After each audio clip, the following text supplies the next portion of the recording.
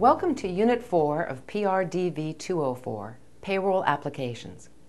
By now you should have a good grasp of how payroll works. This will help you as we go into more complicated concepts later in the course. In this unit, we'll take a closer look at payroll and paycheck withholdings, with a specific focus on the federal taxes. We'll also talk about the Tax Withholdings Form, or W-4. These are used to identify what percentage or amount is to be withheld. It is very important for the employer and the employee to understand just how much should be withheld within the payroll process. With this in mind, you will be introduced to IRS Publication 15 provided by the Internal Revenue Service. This document will provide you with a broad understanding of payroll concepts from a federal perspective.